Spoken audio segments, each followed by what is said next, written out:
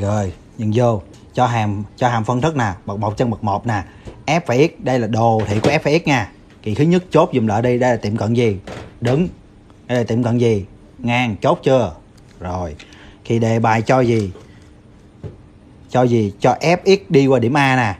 Ủa Và- đi ngang nè. Y bằng mấy? Y bằng không. Trục ox thì y bằng mấy y bằng không, được chưa? Fx đi qua điểm a nè, tính f3 nè. Rồi, dữ liệu cho gì nữa không? Rồi, xong, hết rồi đó. Bắt đầu nè nhân vô đồ thị. Nhớ, đây là đồ thị của gì? F và x, thì mình tính f và x đi. Dùng quy tắc con cá đi. A nhân d. A nhân d trừ b nhân c chia cho cx cộng d, tất cả bằng chốt. Bắt đầu nhân vô tiệm cận đứng nè đúng không? Tiệm cận đứng thì nhân ở đâu? Ở mẫu về cho mẫu. Tiệm cận đứng x bằng mấy? X bằng 2 thì nhân cái mẫu đi. Vậy là cx cộng d bằng bằng không. Vậy tương đương. Tương đương. X bằng trừ d phần c bằng bằng 2 chốt chưa? Vậy chuyển với đổi dấu đi. Suy ra d bằng. Trừ 2c chốt một ẩn một phương trình chứ. Tiếp tục. Còn dữ liệu gì chưa dùng nữa nè dữ liệu gì? Đó chính là gì? Mình có gì? Đây. Nó cắt chục gì? OI nè, đúng không? X bằng mấy? X bằng không, y bằng nhiêu? Trừ một phần. Phần 2 đây là đồ thị của fx nha. Thì mình thay x bằng không vào đây. Thì f và x của mình phải bằng bằng trừ 1 2 kịp không? Thay vô, vậy là f phẩy không bằng trừ 1 phần 2 thay vô đi, vậy tương đương. Ra gì? A, d, trừ b, chia c, nhân c. Đây thế không vô ra không nè, cộng d. D bình bằng, trừ 1 phần 2 chốt hai cái. Tới 4 4 ẩn mà. Phải làm sao, phải được ba cái phương trình mới được. Ba phương trình sau đó mình thế vô cái phương trình còn lại.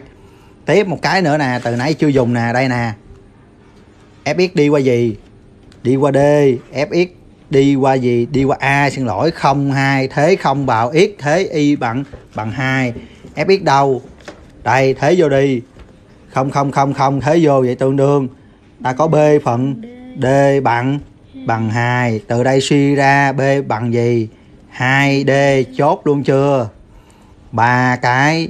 Hai cái nè, ba cái. Sau đó rất đơn giản thôi, nhìn vô. Cái này là viết lại nha d bằng trừ 2c tiếp tục. Lỡ thay d bằng trừ 2c nè, vậy là b bằng gì? B sẽ bằng 2 nhân trừ 2c kịp không? Thay d bằng trừ 2c vậy bằng trừ 4c kịp. Sau đó cái phương trình này nè, chỗ nào có d thì thay bằng gì? Trừ 2c chỗ nào có b thay bằng gì? Trừ 4c vậy tương đương. A nhân d là nhiêu? Trừ 2c trừ nhiêu? Trừ 4c nhân c chia cho. D bình chính là trừ 2c tất cả bình nè đúng không? Bằng bao nhiêu? 1 phần 2 sau đó rút gọn. Nhân chia cộng trừ thì mình tương đương, mình sẽ có a theo gì? Theo gì? Theo theo c. B cũng, b đâu rồi? B cũng theo c. D cũng theo c. A cũng theo c. Sau đó mình thế vô, người ta kêu tính f của mấy của ba thì bằng gì? A nhân a nhân 3 cộng, b phần c nhân 3 cộng. D, chỗ nào có a, thế bằng biểu thức theo c. Chỗ nào có b, thế bằng biểu thức theo c đâu rồi. Đây, chỗ nào có d, thay bằng biểu thức theo c. Sau đó trên có c, dưới có c, rút rút ra kết quả, kẹp. Hiểu ý không? Hiểu không? Hiểu không? Nó dài thôi.